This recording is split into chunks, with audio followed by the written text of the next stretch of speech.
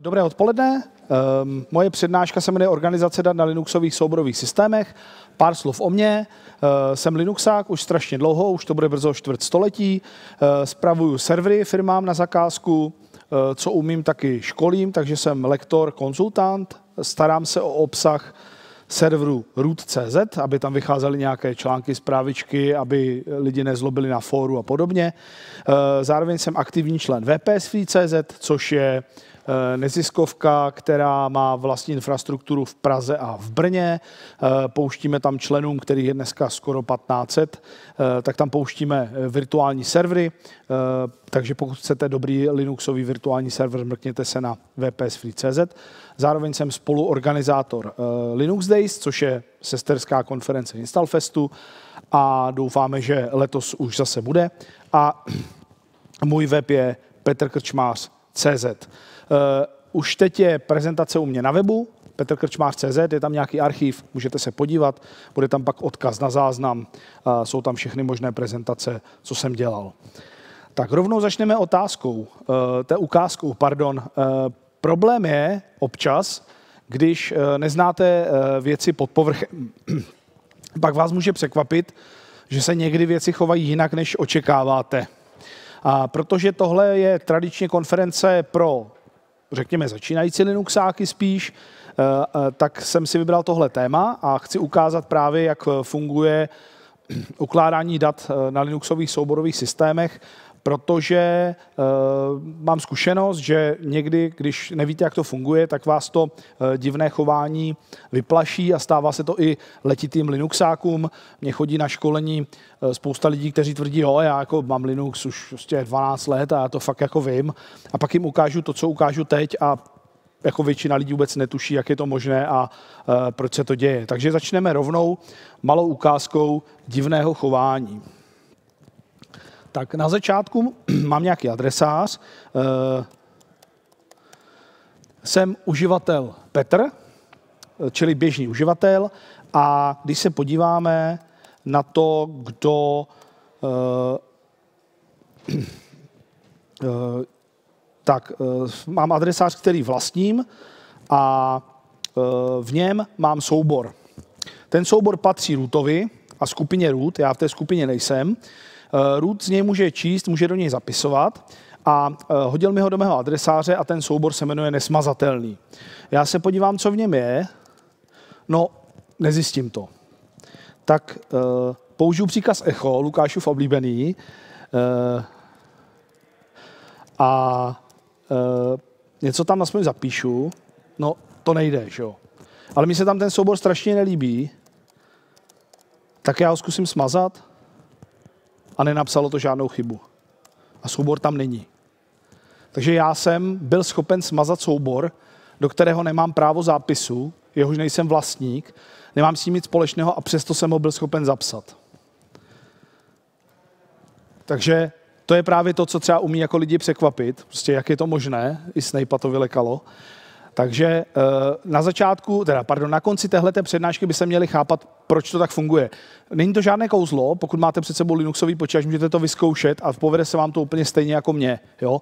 že si založíte pod rootem nějaký soubor, třeba ve svém homeu normálním a pak zjistíte, že ten soubor můžete smazat. Jak to? Zpátky na začátek, co je to souborový systém? Eh, souborový systém je nějaká abstrakce nad blokovým zařízením. Eh, blokové zařízení je eh, jednorozměrné úložiště nějakých bloků, které jsou adresovatelné. Typicky třeba nějaký hard disk, nějaká fleška nebo i v zásadě nakonec i soubor, kde jste schopni adresovat jednotlivé bloky. Ty mají nějakou fixní velikost a můžete se podívat, co je na bloku 1000, co je na bloku 500 nebo něco zapsat do bloku číslo 12. To nám samozřejmě nestačí a my potřebujeme nějakou tu abstrakci, protože nás zajímají soubory a adresáře, s tím chceme pracovat. To, jak jsou ty soubory tam vlastně uloženy, je před námi skryté. My vidíme adresář dokumenty, v něm máme soubor životopis.pdf, s ním umíme pracovat. Ale samozřejmě na té nižší úrovni pracujeme pořád s těmi bloky, jenom nic víc ten počítač k dispozici na tom zařízení, na tom úložiště nemá. Um, souborový systém potom vytváří nějakou stromovou strukturu, plus nějaká metadata, máme tam adresáře, podadresáře, v nich máme různě soubory, to běžně známe. Na téhle úrovni ad, um, adresujeme ne ty bloky, ty vůbec nevidíme, ale adresujeme konkrétní objekty na tom disku, které jsou v té struktuře, takže my popíšeme vždycky tu cestu od začátku toho souborového systému někam hlouběji k nějakému objektu a ten doka- takhle dokážeme adresovat. My se konkrétně podíváme na to, jak to dělá Linux v souborovém systému ext, dneska nejnověji 4, ale velmi podobně je to i v těch, i v těch dřívějších variantách. Eh, základem toho, jak se eh, ta struktura vytváří, je něco, čemu se říká inode. Eh, inode je zkrátka od dvou slov index nebo indexed node, neboli indexovaný uzel, a to je vlastně hlavní jednotka toho souborového systému. Ten inode drží informace o každém objektu, který na tom souborovém systému máme. Platí, že jeden inode znamená metadata o jednom objektu říkám všeobecně objektu, myslím tím v zásadě soubor nebo jeho speciální případy. Ale e, ukážeme si, že všechno v, na Linuxovém souborovém systému je soubor. Jo, jenom někdy má zvláštní vlastnosti a chová se jinak, ale v zásadě je to soubor. Ale já tady říkám jako obecně, že to je uh, objekt. Um, každý ten inode je indexovaný, to znamená má na tom jednom souborovém systému svoje unikátní číslo, Eh, což znamená, že pokud vezmeme nějaký identifikátor nějakého jednoho souborového systému a k němu přidáme číslo toho inodu, tak vlastně máme unikátní informaci, která odkazuje na konkrétní soubor. Jo? Prostě na tomhle souborovém systému u mě na disku mám inode číslo 53 a to je konkrétně tenhle soubor. Je to úplně jasné. Vždycky na úrovni samozřejmě toho jednoho souborového systému. Mezi souborovými systémy se samozřejmě ta čísla těch inodů opakují. Eh, ty inody jsou uloženy v takzvané tabulce inodů, což je nějaká datová struktura, eh, kde jsou ty inody jeden za druhým, mají každý svoje číslo a vyhledání toho inodu je potom jednoduché, proto je indexovaný, protože ty inody mají fixní velikost. Když potřebuju inod číslo 1000, tak prostě vím, kde přesně na tom disku od jakého bajtu začíná a skočím tam a přečtu si ho. Um, ta tabulka se vytváří už při zakládání toho souborového systému. Čili na začátku mám prázdné blokové zařízení a potřebuji na něm vytvořit tu strukturu, na, které pak budu ukládat, eh, na kterou budu ukládat pak ty objekty a zároveň s tím, jak vzniká tedy ten souborový systém, tak se zakládá ta tabulka.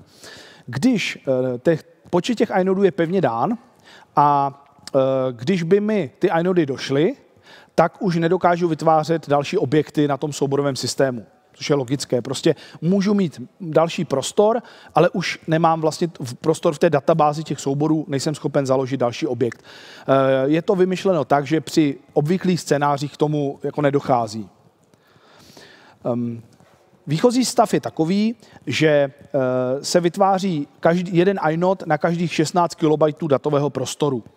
To je eh, výchozí hodnota, kterou um, ctí ten, ta utilita MKFS, která vytváří ten souborový systém. My si samozřejmě parametry můžeme uh, jako ladit, um, kolik těch inodů tam chceme mít, ale už to není potom uh, dodatečně možné změnit. Jo, takže pokud máte uh, skutečně nějakou speciální Eh, situaci, kdy potřebujete ukládat obrovské množství opravdu maličkých souborů na nějaký souborový systém, tak s tím předem počítáte a vytvoříte si eh, ten souborový systém tak, aby eh, ten aby těch inodů si prostě navyráběl víc. Nestává se běžně, že by to došlo. Třeba tady na mém homeu na pracovním notebooku mám obsazeno 60% prostoru, ale jen 3% inodů. Jo nemá smysl volit míň, než je velikost bloku na tom disku, což jsou obvykle dneska 4 KB, jo, protože bychom měli víc inodů, než bychom dokázali využít. Nejmenší jednotka je 4 KB, kterou umíme zabrat vlastně na tom disku a tím pádem eh, to je taky vlastně mm, to, kolik umíme udělat vlastně souboru. Nemá cenu si alokovat víc inodů na větší množství souborů, protože nám zase dřív dojde eh, prostor na tom disku. Ehm, číslo Mm, iNodu je 32-bitové, eh, maximum jsou 4 miliardy na tom dnešním souborovém systému, na tom Ext 4. Ehm, my si můžeme zobrazit informace o těch inodech. Eh, máme tady máme klasický příkaz df, disk free, který vypisuje informace o souborových systémech. Běžně si k němu přidáváme minus H jako human readable, aby nám ty informace ukázal ne v nějakých kilobajtech nebo megabajtech, ale aby, aby vlastně tam dal nějakou příponu a rozumně nám to ukázal v gigabajtech třeba. A můžeme přidat parametr i jako inode a objeví se nám v té tabulce další sloupeček, kolik je, nebo dva sloupečky vlastně, Eh, kolik je tam těch uzlů? Eh, dozvíme se, eh, že třeba na mém mm, tady na Homeu mám 12 milionů těch uzlů, z toho je využito 270 tisíc, a což jsou 3 jo? Takže takhle si můžete udržet přehled o tom, jestli vám ty inody nedocházejí skutečně by se to nemělo stávat, je to jenom v extrémních případech, kdy prostě byste vyráběli prostě miliardy eh, něk- dvou kilobajtových souborů, tak v takovém případě by vám to uh, mohlo dojít. Uh, co ta jedna položka, jeden, ten jeden inode obsahuje? Obsahuje ID toho inodu, jsou teda číslované od jedničky, obsahuje informaci o tom, jaký typ objektů ten inode nese. Já jsem říkal, že eh, všechno je soubor, to platí, ale k některým těm souborům se chováme speciálně. Jo, může to být nějaký symbolický odkaz, může to být objekt typu adresář, jo, vždycky je to nějaký, ten úzel nese nějakou informaci. Eh, pak nese informaci o právech, to znáte, takové to RVX, jestli eh, má vlastník toho souboru právo ho spouštět, zapisovat do něj a podobně. K tomu samozřejmě musí nést informaci o tom, kdo je vlastníkem souboru a jaká je vlastnická skupina, čili to, co vypisujeme tím příkazem ls-l, tak vlastně je uloženo v tom inodu. Je tam velikost souborů, počet bloků obsazených daty, eh, počítadlo odkazu na ten inode, on může být odkazován z více míst, dostanu se k tomu. Potom takové ty časy jako vytvoření přístupu modifikace, to nám vypisuje příkaz stat, eh, mm, nejjednodušeji. Eh, potom samozřejmě ukazatele na bloky s tělem toho souboru, protože tady máme metadata, tohle to všechno, a pak musíme mít někde řečeno, jo a obsah toho souboru, to tělo je vlastně tamhle, tam si přečteš, co v tom souboru je napsáno. Jo, takže tohle musíme mít taky v tom inodu. A kontrolní součet těch metadat, abychom si byli jistí, že nejsou nějak poškozená. Nechybí vám tady v tom seznamu informací něco? Co tady chybí důležitého? Co mají soubory? Co má každý soubor? Jméno. Jasně, přesně tak. Chybí nám název souboru v iNodu, protože, a to je ta podstatná informace, ke které se chci dostat dneska, název souboru, název těch objektů není v tom iNodu vůbec uložený. Eh, názvy souboru jsou uložené v adresářích, úplně někde jinde. Eh, jak jsem říkal, adresář je jenom speciální případ souboru, který funguje tak, že v tom inodu je v tom typu souboru, to, co bylo tady vidět, jako druhá položka typ objektu, je tam prostě uvedeno, že je to adresář v tom inodu.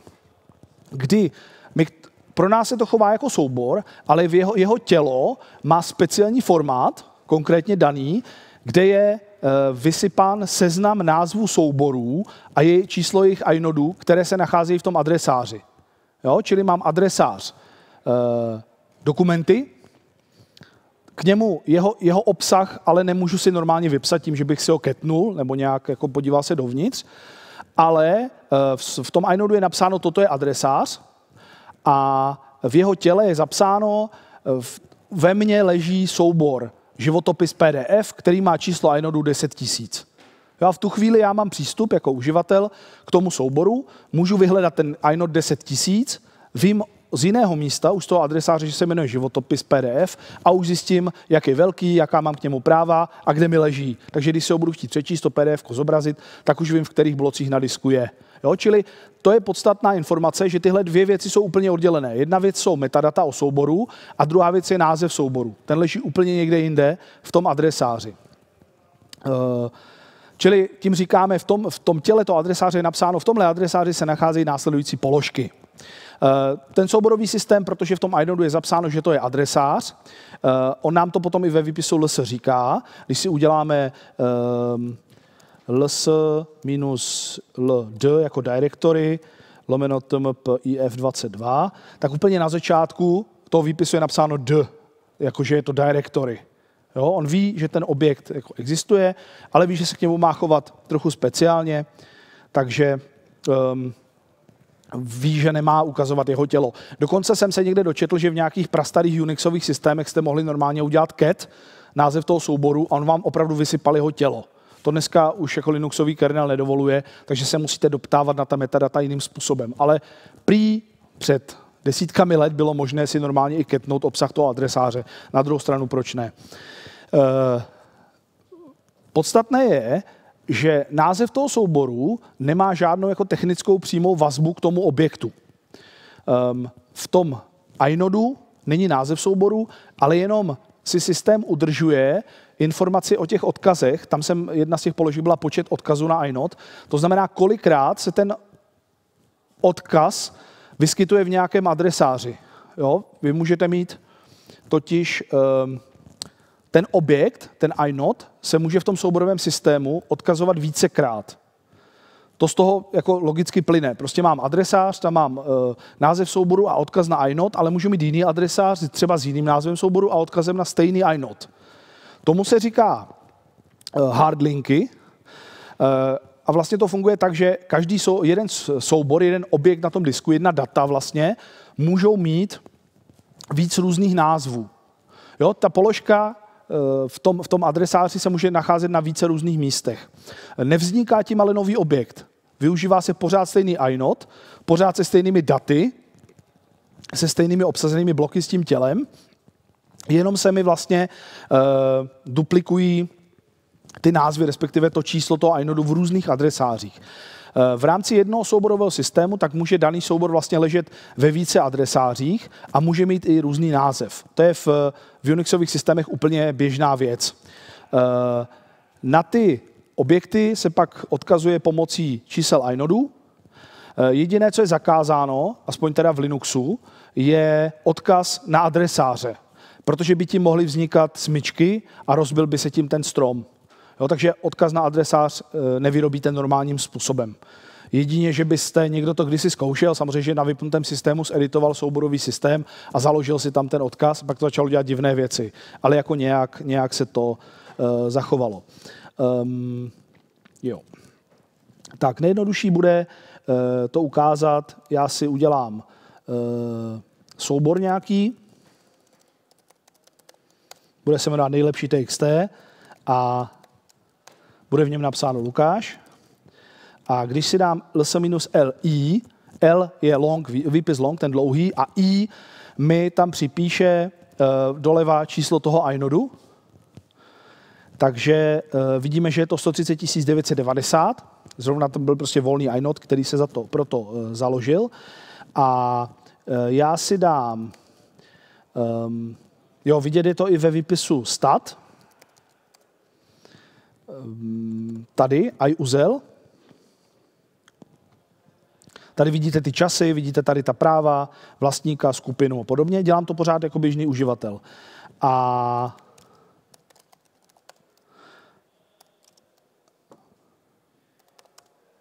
vyrobil jsem si pomocí příkazu ln, nový soubor, který se jmenuje třeba nový TXT, na těch příponách nezáleží. Přípona nemá speciální význam v Linuxu, to je prostě normálně součást, eh, součást názvu souboru. To je jenom pro nějaký úzus, že jsme si vymysleli přípony. Třeba v MS-DOSu, ve staré FATce, eh, bylo to bylo tak, že tam bylo napevno 8 znaků pro název souboru a speciální položka 3 znaky pro příponu. Nic takového v Linuxu není.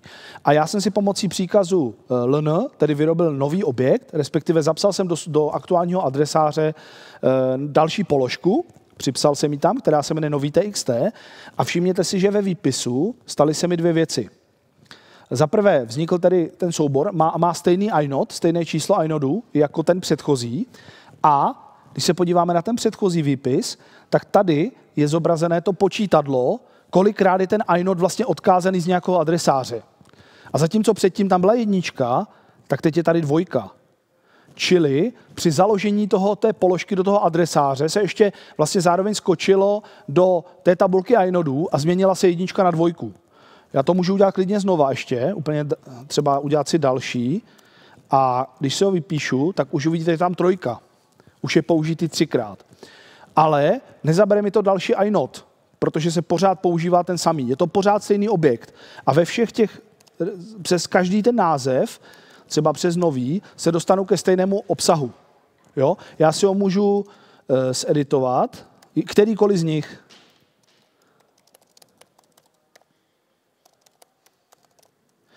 A v tu chvíli vidíte, že narostla i velikost, předtím to mělo 7 bajtů, teď to má 27 bajtů a já si kterýkoliv z těch objektů můžu vlastně vypsat a vidím pořád stejný, stejný inode a přes něj stejné objekty na disku, stejné bloky.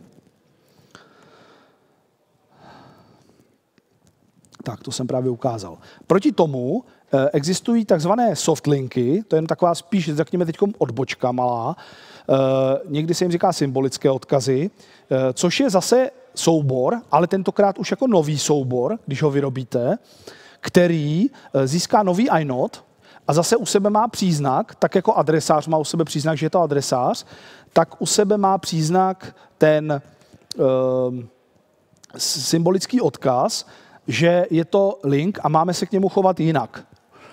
Um, s tím, že v těle toho linku tentokrát je uložená cesta k nějakému souboru. Je to to, čemu se třeba říká zástupce. Jo? Eh, a není ovšem propojený s tím původním objektem, tím inodem, tak jak jsme si teď ukázali na hardlinku, ale normální cestou.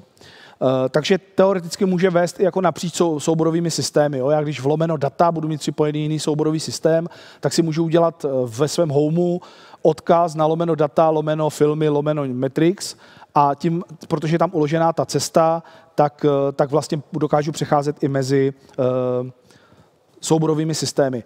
Zase ten souborový systém teda ví podle toho příznaku, ukážu vám to hned, že je to odkaz a zase se k němu jinak chová, automaticky ho interpretuje a nepracuje s tím odkazem, ale pracuje s tím cílem, na který ten odkaz odkazuje.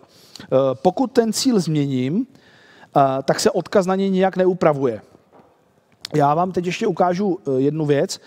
Když já jeden z těch objektů smažu, třeba ten úplně, úplně původní, nejlepší TXT, tak vlastně se mi sníží to počítadlo zase na dva, ale ten objekt vlastně pořád existuje, jo? pořád jsem schopen si vlastně podívat do toho těla přes ty dva další odkazy. Jo? Zatímco, když si udělám, když mám link, který za chvilku vyrobím, a, a odstraním ten původní objekt, tak se mi ten e, link rozbije protože už nikdo se nestará o to, že někde po disku jsou rozházané nějaké další soubory, které někam odkazují. E, případně se samozřejmě může stát, že někdo potom pod tím názvem vyrobí nový soubor s jiným obsahem a ten původní link, který někde leží, bude najednou odkazovat na něco úplně jiného. Jo, link je prostě um, jako vysokou úrovňovější. Takže já si vezmu pardon, jinak. udělám si třeba odkaz LNK, dejme tomu, a vznikl mi tady úplně dole nový objekt, odkaz LNK se jmenuje, a odkazuje mi na další TXT. Eh, první věc, co se podívejte do prostě toho řádku, má 9 bajtů. dalsi.txt. Čili v jeho těle je fakt zapsán jenom ten název. Já si samozřejmě můžu ještě udělat i delší odkaz odkaz 2, dolomeno třeba etc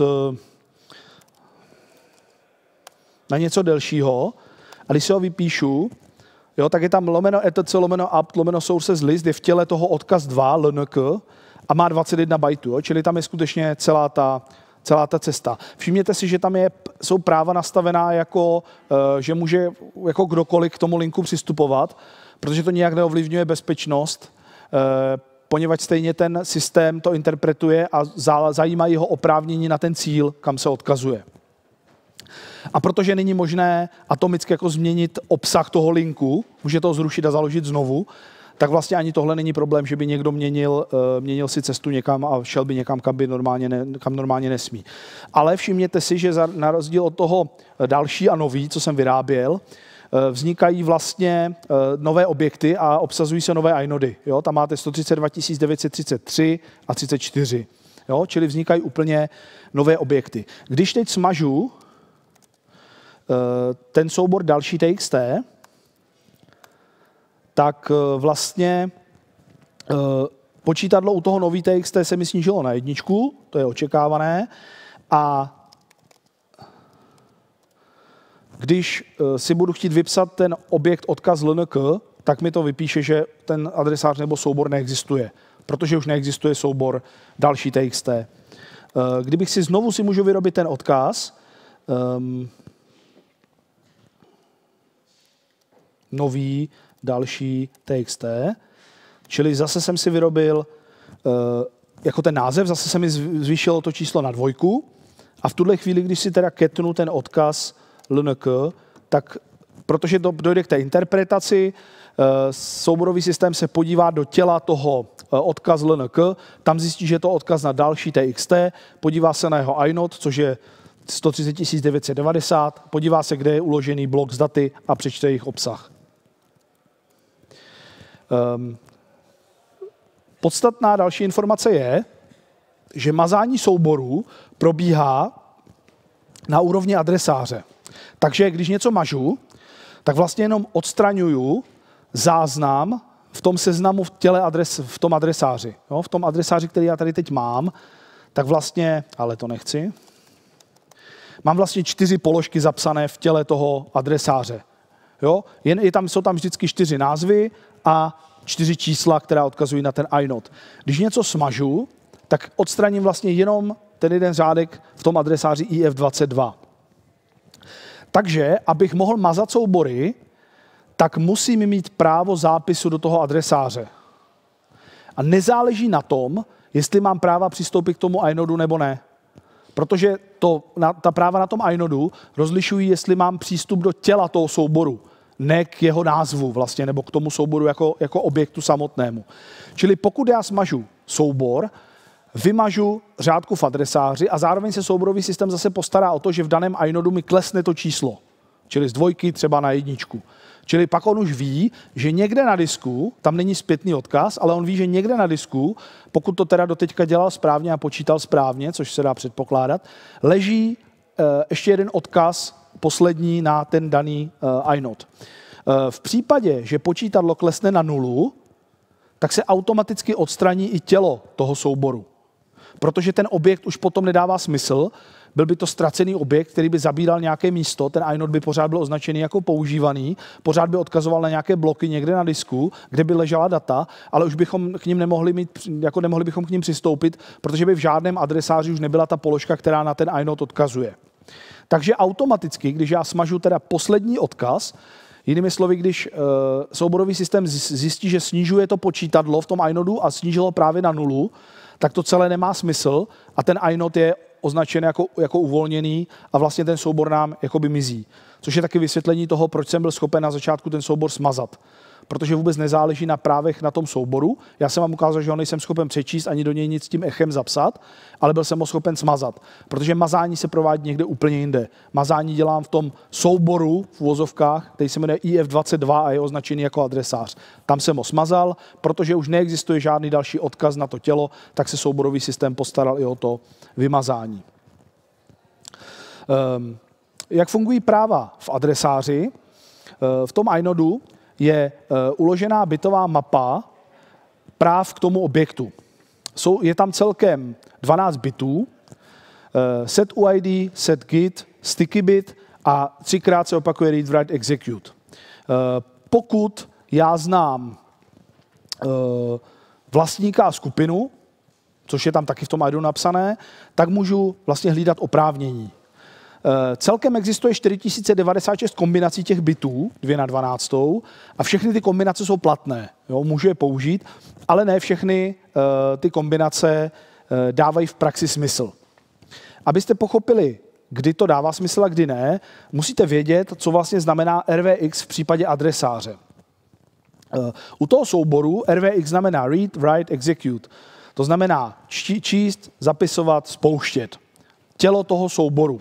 Čili když já jsem přišel jako Petr tak, eh, a jsem v nějakých skupinách, tak eh, kernel při pokusu přistoupit k nějakému objektu zkontroluje, jestli jsem vlastníkem. Pokud jsem vlastníkem, tak eh, pro mě platí ta první trojice, pokud ne, následuje kontrola, jestli jsem alespoň v té skupině, která je zapsaná u toho souboru, pak by pro mě platil ta druhá, druhá trojice. Pokud nejsem ani jedno, ani vlastník, ani nejsem v té skupině, platí pro mě uh, ta třetí trojice. To je u souboru. V případě Eh, adresáře, ale to jádro přistupuje trochu odlišným způsobem. Jednak interpretuje nějakou strukturu, která v něm je, to jsme si řekli, ale zároveň eh, říká nebo kontroluje, eh, že R je čtení z těla adresáře, čili že jsme schopni přečíst, jaké soubory v daném adresáři leží. Dvojvé znamená, že jsme schopni do toho těla toho adresáře, čili do toho těla eh, seznamu těch souborů, jsme schopni něco zapsat, něco připsat. A X, tomu se v případě eh, adresáře někdy říká search bit, jako vyhledávací, a ten určuje, jestli máme přístup k těm inodům těch objektů, které leží v tom daném adresáři. Čili jestli nás kernel pustí k tomu přečíst si, co je zapsáno eh, v té tabulce inodů pod těmihle čísly. V praxi to znamená, že ERCO nám dává možnost přečíst si názvy souborů a pokud máme jenom ERCO, tak zjistíme jenom názvy a žádné podrobnosti o těch souborech.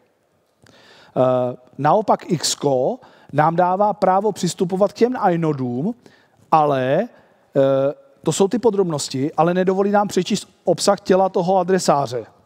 Čili v takovém případě jsme schopni zjistit podrobnosti o těch souborech, jak jsou velké, kdo je vlastně a podobně, ale nezjistili bychom jejich názvy.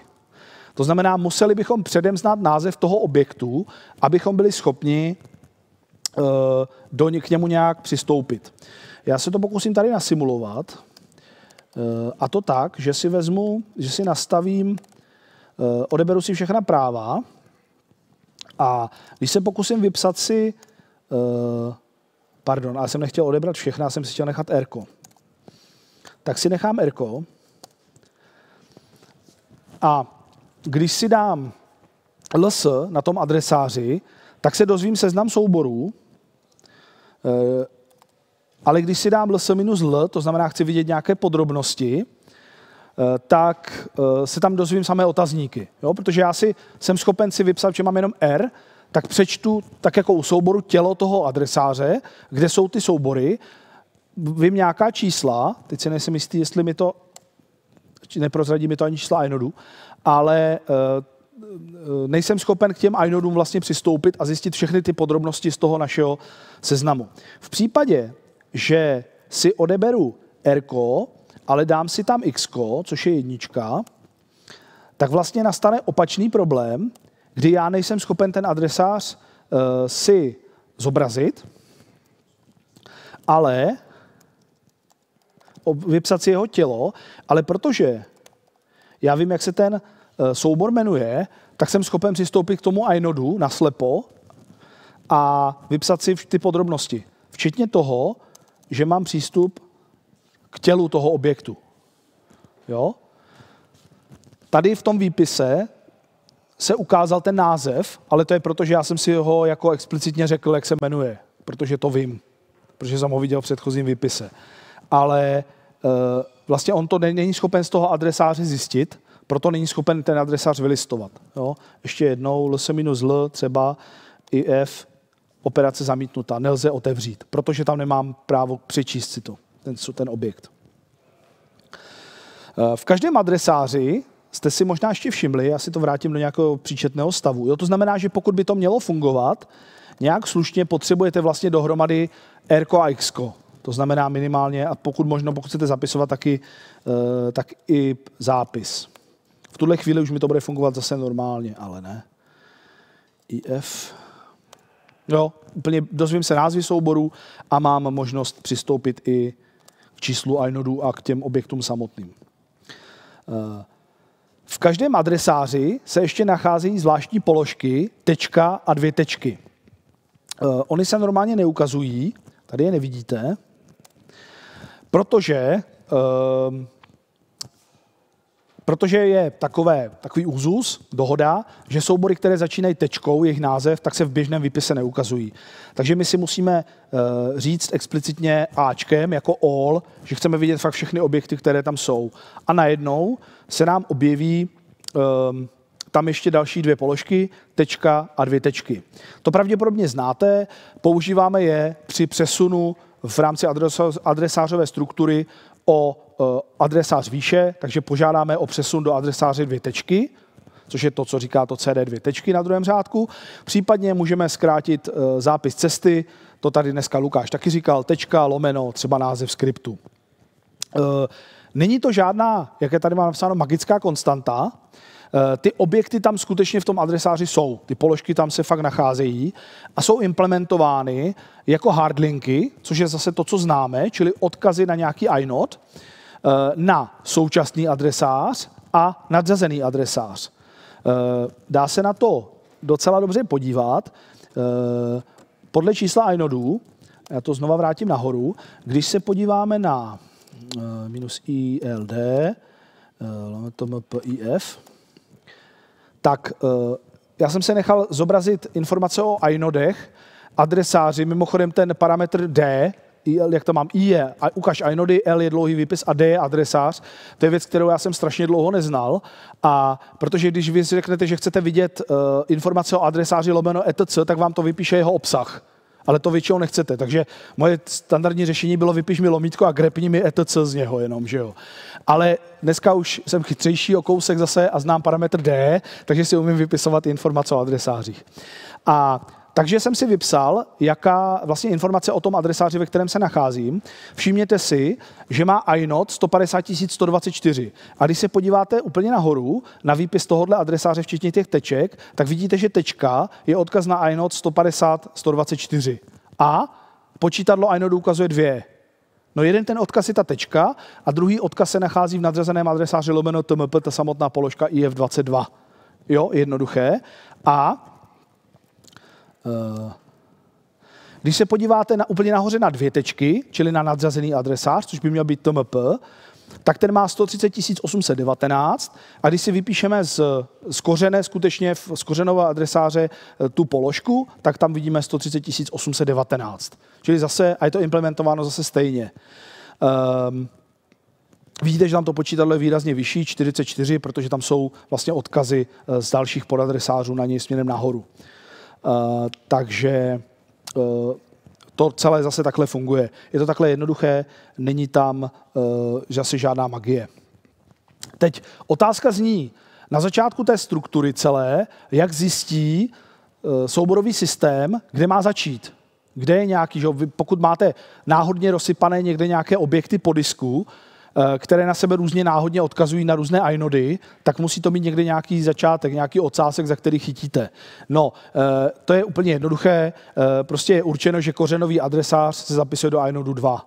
Jo? A tím je vlastně dáno, že máte nějaký začátek, když chcete vůbec s tím souborovým systémem začít pracovat, tak si prostě v té tabulce sáhnete na inode 2 a e, vidíte ho. Já myslím, že takhle půjde i vypsat. Jo. E, když si vypíšu podrobnosti o lomítku, dozvím se, kromě jiného, že je to adresář, má tam D a vidíte, že má inode číslo 2. Ten je prostě pevně daný. V rámci souborového systému samozřejmě. Eh, potom tady je nějakých prvních 10 inodů, které eh, mají speciální význam. Eh, dá se to přečíst v kernelové dokumentaci. Jsou tam, jsou tam různé skupinové kvóty, uživatelské kvóty, data pro žurnál a podobně, čili nějaké speciální objekty, které potřebuje ten souborový systém k tomu, aby, aby fungoval. V tom inodu, to jsme si tady probrali, jak se vlastně na něj odkazuje a jak to funguje, co v něm je, tak ta řekněme, nejpodstatnější informace praktická pro nás je vědět, mít odkaz z toho inodu na nějaké bloky na tom disku, kde je to tělo toho objektu, abychom si mohli přečíst ten soubor. Um, některé moderní souborové systémy umožňují rovnou do toho inodu uložit i nějaká data. Uh, tomu se říká inlining a ono to šetří jako ty bloky, ale především to šetří diskové operace. To znamená, že uh, obvykle totiž musíte, že máte adresář, vy chcete nějaký soubor, musíte se podívat do toho adresáře, do jeho těla, čili zjistit, kde je tělo toho adresáře, mrknout tam, tam si vy podívat na ten obsah, tam najít ten, v, to, v tom seznamu tu položku, přečíst si číslo inodu toho souboru, skočíte zase na tabulku inodů, tam si přečtete, jak vypadá ten inode, tam načtete, na kterých blocích to je a teď musíte skočit zase zpátky na jiný soubor a zjistit jeho obsah na, ten, na ta data.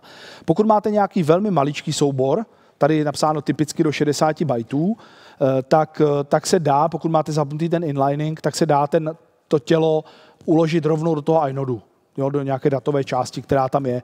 A potom vlastně ušetříte při práci s tím uh, objektem, ušetříte tu jednu diskovou operaci, protože nemusíte pro to tělo zase někam skákat, ale máte ho rovnou v těch metadatech. Uh, to se zapíná při tvorbě souborového systému uh, a hodí se to pro situace, kdy máte velmi mnoho symbolických odkazů, jo? protože tomu se říká fast symbolic links, kdy vy opravdu ten symbolický odkaz vlastně je už rovnou Eh, tím vlastně u symbolického odkazu ušetříte ještě více skoků, protože vy musíte zase skočit. Eh, na ten nový objekt, zjistit o něm informace, eh, přečíst jeho tělo, tam máte teprve odkaz někam, musíte zase do adresáře. Jako použití toho symbolického linku je velmi pomalé, protože musíte skočit na strašně moc míst na tom disku, abyste, se, abyste si doskákali do toho cíle. Když to tím, tím inliningem si ušetříte všechno tohleto, protože vlastně ten obsah, kam máte skočit dál, už máte v tom Eh, přímo v té tabulce, eh, tabulce iNodu. O, to je ale jenom speciální případ. Obvykle eh, ten iNode obsahuje odkazy na bloky dat, čili někde na tom disku, na zbytku toho blokového zařízení leží tam ta data, která si chceme vlastně přečíst. Existují dva přístupy. Starší X2 a X3 používali takzvané blokové ukazatele, anglicky block pointers. Novější Extended 4 má efektivnější systém rozsahu, kterému se říká extents, extenty. V případě teda toho X2 a X3 eh, to funguje tak, že každý inode tam má čtyři různé položky, čtyři různé typy ukazatelů s různou funkcí. Ten nejjednodušší je takzvaný direct block pointers, těch je 12 a umí odkazovat přímo, eh, přímo adresovat bloky na tom disku. Pokud je tam nula, tak tam žádná data nemáme. Pokud je tam nějaká eh, nenulová hodnota, tak odkazujeme konkrétní blok. To znamená, že v tom inodu je prostě zapsáno 10 tisíc, 10 tisíc 1, 10 tisíc 2, 10 tisíc 3. Na těchto třech blocích je tělo toho souboru. To je celkem jednoduché. Těch uh, ukazatelů přímých je 12. Jelikož ty bloky mají 4 kilobajty, tak víte, že, vidíte, že to je na, jenom na jako vlastně velmi malé soubory. Um, pokud se tam nevejde ten soubor, tak se používá v tom samém inodu další sada ukazatelů, které se jmenují Singly Indirect Block Pointer, čili nepřímé odkazy, kdy, kde v tom odkaze v tom pointeru není odkaz přímo na ten blok s daty, ale na nějaký další meziblok, ještě řekněme, kde leží metadata teprve. A kde my vlastně mezi těmi normálními daty si zarezervujeme blok, do kterého uložíme seznam teprve těch dalších bloků, kde máme data. Jo? Čili je tam indirekt, mezi, mezilehlý blok to je vlastně. Čili máme tabulku inodů, ta odkazuje na nějaký 4 KB blok a v něm máme teprve seznam bloků, kde budeme mít data. E, to je zase um, ty adresy jsou 32-bitové a zase se dá celkem snadno spočítat, eh, jak, jak v tom, kolik se nám jich vejde do toho 4 KB bloku. Pokud máme větší soubory ještě, tak se používá double indirect block pointer, což je podobná věc, ale ty mezilehlé bloky máme dva, můžeme mít. To znamená, že z, toho, z té tabulky inodů na začátku odkazujeme na blok, který zase obsahuje strukturu, ale ta neodkazuje ještě na data, ale na další mezibloky, čili máme vlastně druhou vrstvu, a ta teprve odkazuje na ta samotná data, čili ten strom se nám vlastně rozšíří a můžeme na konci po těch dvou krocích odkázat na mnohem víc, eh, na mnohem víc bloků z daty. Případně je tady ještě třetí level, triple indirect block pointer, což je ještě jednou to samé. Takže máme z tabulky inodů odkaz na uh, první blok, ten odkazuje na další bloky, ty odkazují na další bloky a ty teprve odkazují na uh, na, ten, na ta samotná data toho souboru. A tam už těch odkazů nebo těch, ten seznam vlastně už může být velmi, velmi dlouhý. Ale zároveň nám tím roste počet operací při práci, protože my tenhle ten strom vlastně musíme uh, procházet u těch velkých souborů, musíme tam dělat víc kroků. Tady je to ukázáno v, ve schémátku, jo, kde vlevo je ta tabulka inodů, uh, ty direct data blocks odkazují rovnou v té, v té první řadě na tady na ty tři eh, bloky z daty. Pak tu máme, eh, to stojí u těch malých souborů, 1, 2, 3 třeba. Eh, potom máme nějaký větší soubor s číslem 13, ten ale právě odkazuje na ten meziblok, ze kterého teprve máme seznam v tomhle případě 128 dalších bloků, na které si odkazujeme. No a pak tu máme ještě větší blok, třeba čtyř, větší soubor 14, který má jeden meziblok, další mezibloky a ty teprve odkazují na ty cíle, které nás vlastně zajímají nakonec. Extended 4 to dělá trochu jinak. Za prvé navyšuje velikost inodu na dvojnásobek a pro uložení těch informací používá takzvané extenty, eh, což jsou rozsahy eh, navazujících bloků obsahujících data. Jo? Čili tam tím šetříme eh, ty informace, protože pokud ty bloky navazují, tak my si jenom řekneme odsaď až sem nám leží data. Ehm, takže jeden extend dokáže najednou nám odkázat až 128 MB dat, což je poměrně hodně, a zlepšuje to výkon u přístupu k velikým souborům. Um, Snižuje to zároveň problémy s fragmentací, protože je snaha jako dávat ty bloky k sobě. Ehm, v každém tom iNodu můžou být až čtyři extenty přímo. Čili podobně jako jsme měli ten direct odkaz, si představte, že jsme rovnou odkazovali bloky, tak tady neodkazujeme jednotlivé bloky, ale celé jako rozsahy, odsaď sem, milion až milion sto tisíc a ehm, můžeme to udělat čtyřikrát. Samozřejmě ani to nám nemusí stačit, protože to znamená půl GB dat.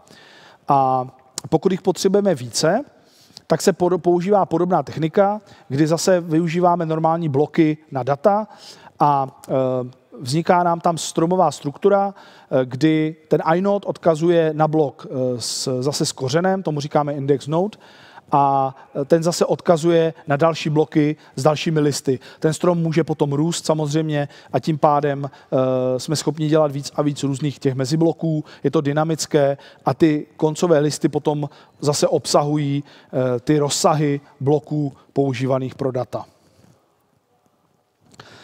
Tahle ta věc, jak jsem ji popsal, vidíte, že je celkem jako komplexní a to jsem popsal jenom jako povrch vlastně. Uh, a Teoreticky se to může rozbít, stává se to někdy, protože my do toho pořád zasahujeme, ty soubory pořád měníme, přibývají, zvětšují se, mažeme je a každá ta operace znamená spoustu různých kroků. Eh, ty operace nejsou atomické, ale probíhají postupně. Jo? Většina z nich je dokonce asynchronních, to znamená, pokud my si explicitně neřekneme, tak prostě uh, my řekneme kernelu, něco nám udělej tady s tím souborem a on nám hned řekne, jo, hotovo, pokračuji při práci, ale ta data se fyzicky nezapsala ve většině případů na disk. Ta se zapíše až někdy v budoucnu, probíhají tam nějaké optimalizace eh, a když ten disk má čas, tak teprve něco zapisuje. A zároveň se ten souborový systém snaží být pořád konzistentní. Největší problém může nastat při jako nenadálém vypnutí při nějakém selhání hardwareu nebo vypnutí e, energie, což třeba se v datacentrech prakticky stává maximálně jednou za 10 let, naposledy e, před 14 dny e, v jednom českém velkém datacentru. Takže v takové situaci může dojít k poškození toho souborového systému, jinými slovy k nějaké nekonzistenci. Takže se může stát například, že nějaký blok v, v tabulce bloků ještě tam je, eh, je už označen jako alokovaný, to znamená, my začínáme zapisovat soubor, určíme si na to nějaké bloky a pak si to chceme poznamenat do inodu, že teda máme soubor životopis PDF, který nám bude odkazovat na ty a v tu chvíli nám vypadne elektřina. Takže jsme v polovině té akce, už jsme obsadili bloky, ale ještě jsme na ně od nikud neodkázali. Takže ztrácíme vlastně kapacitu disku. Pardon. Nebo naopak, Uh, inode už odkazuje na nějaké bloky, které ale my jsme ještě neodkázali jako alokované. Takže vlastně uh, ty dvě struktury si neodpovídají.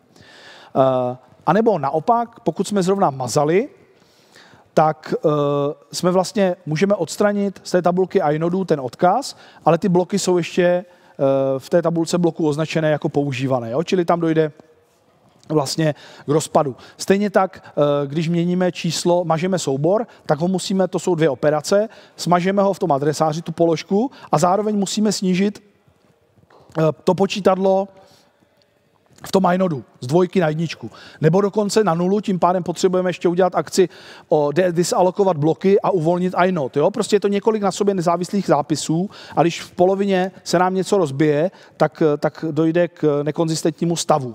K tomu existuje uh, příkaz FSCK, File System Check, uh, určitě ho znáte, a ten vlastně na tom souborovém systému kontroluje spoustu věcí, které plynou z toho, jak teď už víte, jak to funguje, tak už byste možná dali dohromady většinu toho, co on kontroluje. První věc, co kontroluje, je superblok, o tom jsme si nepovídali, to je na začátku um, vlastně popis toho souborového systému, eh, kolik má bloků, v jakém je stavu a podobně. Eh, takže tam kontroluje například, jestli velikost souborového systému odpovídá počtu bloků na něm. I ten superblok může být poškozený. Ehm, další věc, co se kontroluje, jsou volné bloky. Jo? Čili otázka zní, odpovídají si data v inodech s volnými bloky? Protože my v těch inodech teda odkazujeme spoustu bloků, že na nich máme data, ale ten FSCK vlastně projde jestli, které bloky mají, mají být jsou označené jako, eh, jako eh, obsazené a kolik jich ve skutečnosti obsazených je a jestli si tohle to odpovídá. Zároveň, eh, jestli dávají, jsou všechna data v pořádku v těch inodech samotných a jestli typy objektů dávají smysl, to znamená, jestli odkazujeme na adresář a skutečně jsou v něm data adresářová třeba, zároveň jestli sedí počítadla odkazů v těch inodech. To znamená, projdou se všechny adresáře, spočítá se, kolik odkazuje na který inode a zkontroluje se v tabulce, v tabulce inodu, jestli to sedí. Jo? Tady právě by mohlo dojít tomu, když já mažu objekt v adresáři, ještě jsem nesnížil počítadlo, tak to nedává smysl, protože já ten objekt v těch adresářích najdu třeba jenom jednou, ale počítadlo říká, že mají být dva. Tohle se dá triviálně opravit, prostě se to počítadlo opraví na skutečnou hodnotu. Uh, kontrolují se duplicity, jestli některé inody neodkazují na stejné bloky, čemuž by nemělo docházet. Jo? Ty soubory se nesmí na tom disku datově nějak křížit, každý soubor má svoje bloky. Uh, chybné odkazy na bloky se kontrolují, to znamená, uh, jestli v inodech dávají ta čísla odkazů na ty bloky z daty smysl, pokud my budeme mít na souborovém systému milion bloků třeba a budeme mít inode, který tvrdí, že soubor leží na bloku 2 miliony, tak to je nesmysl, že jo? A Eh, zároveň se prochází ta struktura adresářů a hlídá se, jestli eh, všechny odkazované inody jsou skutečně používané a leží v nějakém adresáři. Jo, jestli uh, zase nemáme nějaký inod obsazený, který by ale neměl uh, nikde uh, nikde žádnou položku, která na něj, na něj odkazuje. V tom případě ten inode uh, nedává smysl, ale, nebo teda ten objekt, ale je to takzvaný potom ztracený soubor, který my tam máme, ale od nikud ho neodkazujeme. Jinými slovy, ten inode by měl mít správně počítadlo nula, a měl by být smazaný, ale on má jedničku a nevede na něj žádná reference, čili on nám někde zabírá prostor na tom disku, ale my se k němu nedokážeme dostat. No, takže potom takovéhle soubory e, nám umožní DFSCK pod nějakým názvem náhodně vygenerovaným obnovit někam, abychom si podívali, co je jejich obsahem samozřejmě. Jo.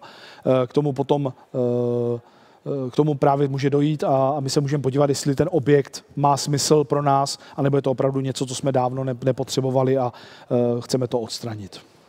Tak, jsem na konci prezentace.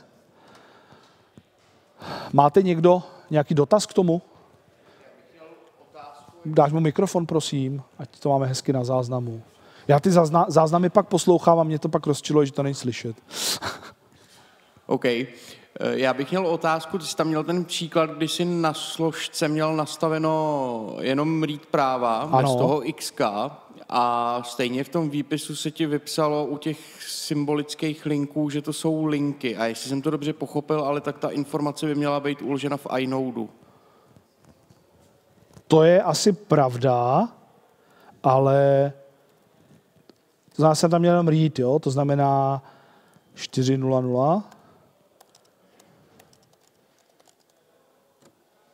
Takhle. Tam se mi ne- neukazuje, jo, že tam je to Elko. Na to neumím odpovědět. Ale nevidíme obsah, jasně. Ale mm, to neumím říct, to jsem si nevšiml sám, takže nevím, proč se to takhle chová.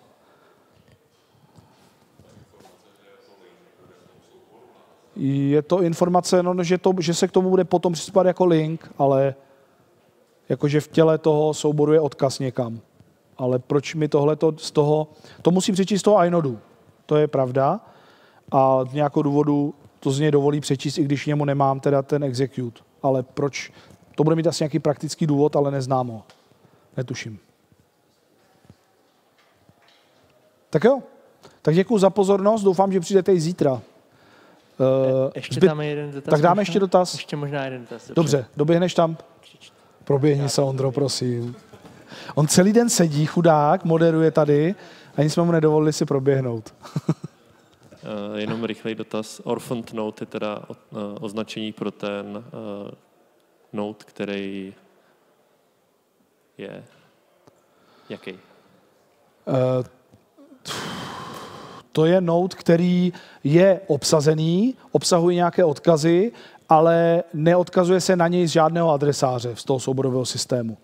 Čili on je opuštěný, jinými slovy, prostě nedokážu se k němu jako uživatel nějak dostat. Nemůžu si vlastně zobrazit eh, data v tom souboru, v tom objektu, protože já potřebuji k tomu mít ten adresář, ve kterém je ta položka uložená, aby mě odkázala na to číslo toho inodu. Hmm. Takže to je ten poslední případ, co jste zmiňoval. Uh, já nevím, který byl poslední, ale snad jo. jo, no, asi. Uh, jo, je to tak, ano, je to ten poslední, ano, přesně tak, ten poslední případ, který jsem zmiňoval.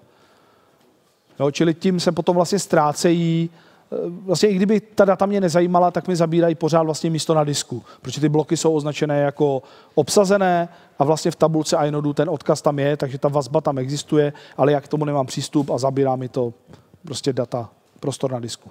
Dobře, tak děkuji za pozornost, snad se uvidíme i zítra, užijte si večer, díky.